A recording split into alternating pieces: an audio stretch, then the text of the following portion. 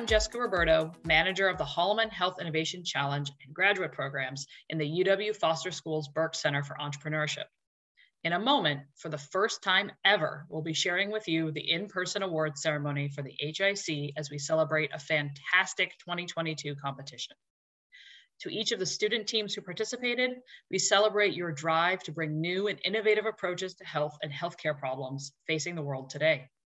To the community of judges and sponsors, thank you from all of us at the Buerk Center for supporting student work, creativity, and innovation. Now, without further ado, here is the 2022 awards presentation for the Hollomon Health Innovation Challenge. Students, you rocked it today. So big applause for all of you for what you pulled off here in person. It was so great to see your prototypes in person and not just on a video on a little box on a screen. So excellent, excellent work. So as we get to the prizes now, let's talk about how the teams were judged. Thank you, Jessica. One page business summary. Everybody turned that in. Everybody saw that. I saw a lot of judges taking their notes and they've, they've read those summaries. The 60 second pitch, and you guys rocked it, by the way. I was really impressed with your pitches. Uh, prototype demonstration, um, and what was the potential for impact? So the judges really considered this all carefully. Um, so let's start going on with the prizes, but first, let's just review the teams, right? Believe Sleeve, uh, BWB, Bioengineers Without Borders, uh, Prosthetics, Bloom, Cath Connect, Custom Mouse, Disha Stay Network, Equinox, Easy Access, HeartX, Instant Connection, Nascent Diagnostics, Nimbus, Push Start, Reset, Simplidoc, Snooze Control, SPO2 for you, got it? Trialable, Ultropia, Expressive Tech, and Zephyr Sleep. Again, you guys were amazing. Great work. So, first off, let's start with our best idea prizes the Kent and Lisa Seisha Digital Health Prize. Just so you all have a feel for who they are, Kent is actually the founder of MedInsight, a platform for data warehousing and healthcare analytics. Digital access, digital health is a definite passion. One of the other things they've helped us fund is a digital health workshop that Jessica uh, uh, prototyped, piloted the first time this year. And I do believe there's one team here who came out of that workshop. Yay! Uh, so they, they, they really walk the talk, and so we are very excited to award the Kent and Lisa Seisha Digital Health Prize to Trialable. Uh, come up here, and you have their check.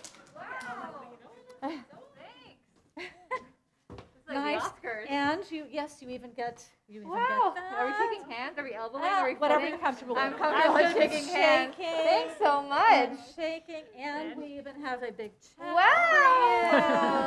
for so, yay.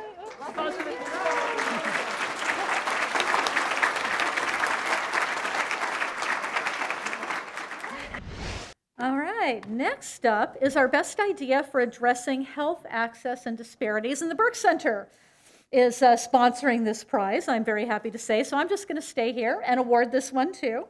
So the best idea for addressing health access and disparities goes to Equinox.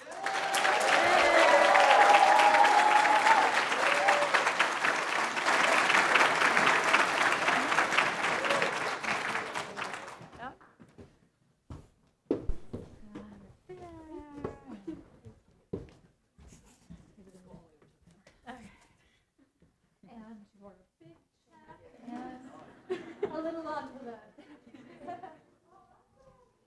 Act like you want some.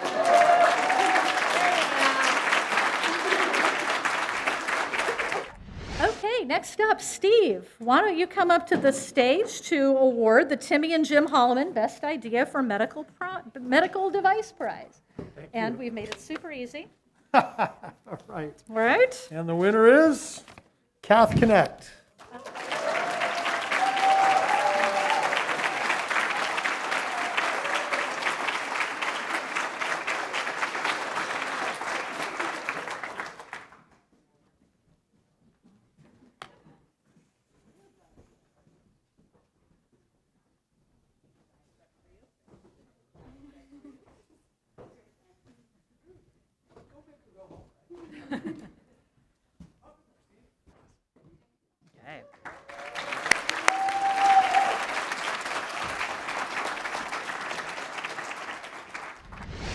going to top to our top three prizes. And first, for third place, I'd like to invite up Lisa Solina from Fenwick and West.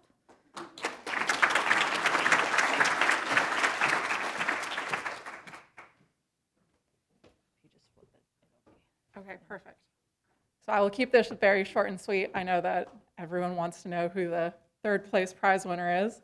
Um, so I'm here from Fenwick and West. We are the Seattle office of a Silicon Valley law firm, and we just help life sciences and technologies companies from the emerging company stage all the way through public company. Basically, we geek out on the rules so you guys can focus on the, your really, really cool ideas and make your dreams come true. So with that, the third place prize winner is Equinox.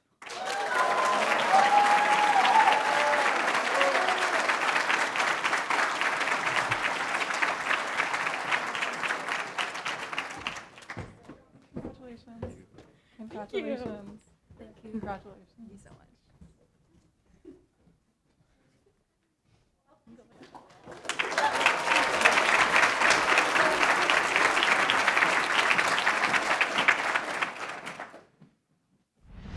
To announce our second place prize, I'm actually going to invite Amy Sellen back to the stage.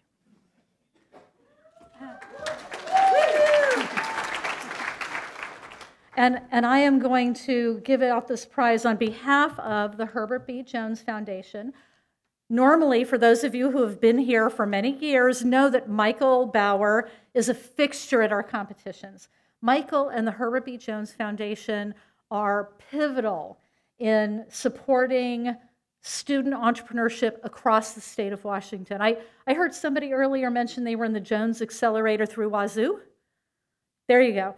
That's also supported by the Jones Foundation. They support entrepreneurship at SU, here at the UW, across campus, um, and really across the state. It's amazing how many programs put in a grant request to the Jones Foundation, and they will then fund them to support entrepreneurship. And Michael um, sent me a few talking points here. Um, they have provided funding. Let's see, I actually already talked about that. It was named after the late Herb Jones, who was a small businessman back in his day, 50s, I believe. And the foundation honors his legacy by supporting the growth of small businesses.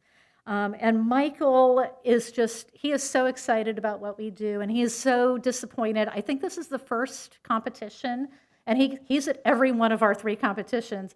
This is the first competition he has missed as long as I have been doing this since 2013.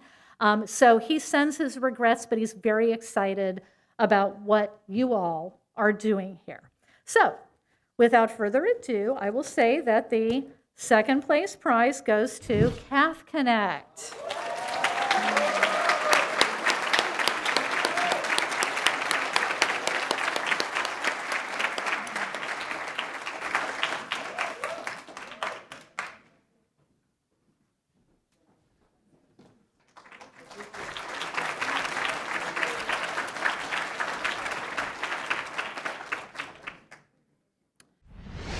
And finally, I'd like to bring up Meher and Tia from WRF Capital to announce our grand prize winner. Meher?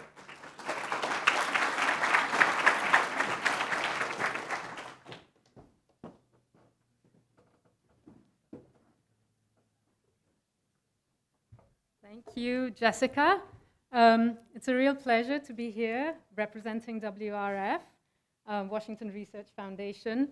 Um, for th- those of you who don't know who we are, we're a foundation based here in Seattle, and we support technology commercialization in Washington state, both through grants to research institutions in Washington and also through investments in startup companies. And we're huge supporters of this competition.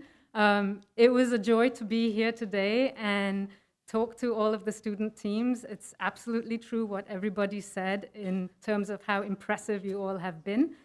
Um, but there's only one first prize winner, and that is Instant Connection.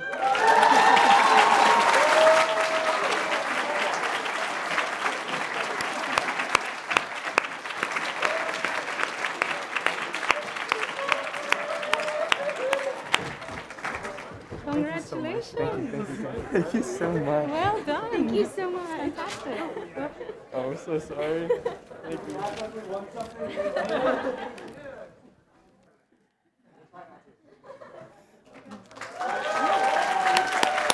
Thank you.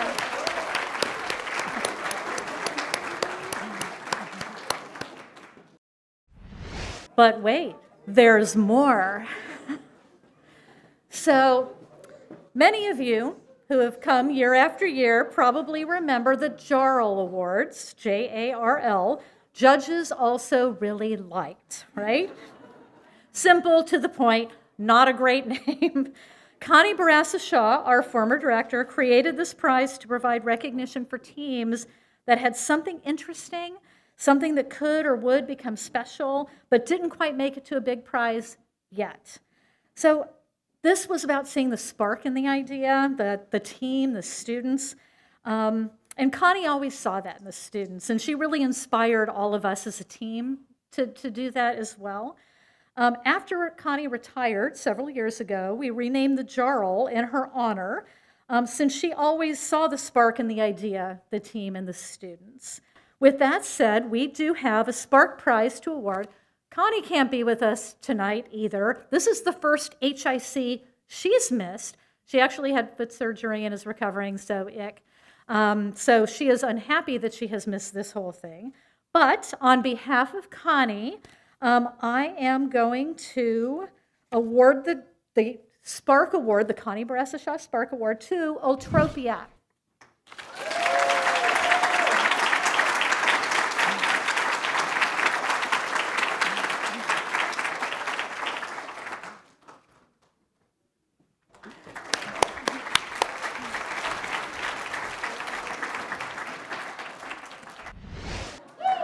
Thank you all. Again, congratulations to all the prize winning teams and every team who participated this year.